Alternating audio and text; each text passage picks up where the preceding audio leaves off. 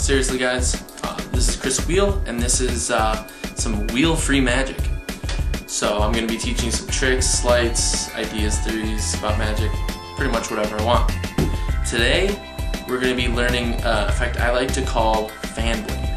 It's a nice little card location with a twist, and uh, so let's get into it. Let's do it. This is fan blade. Card selected.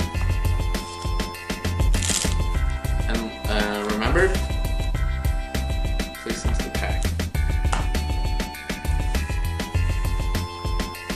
You then say, if I was to cut into the pack, take out a card, the chance of it being yours is 1 in 52. Not very good odds. I don't like that. I'm going to try to cut those odds in half.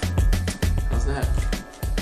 So what we're going to do is we're going to use the ace of spades, and it looks like a knife, so it's going to cut into the pack, hopefully find your card.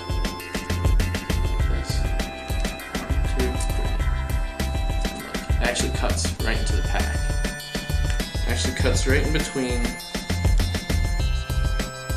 So your uh, card choice is between the 10 or the queen.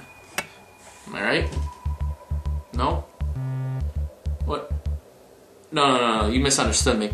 I, I'm sorry, I kind of messed up. I, I meant to say your card is in between the 10 and the queen. Look. So your card appears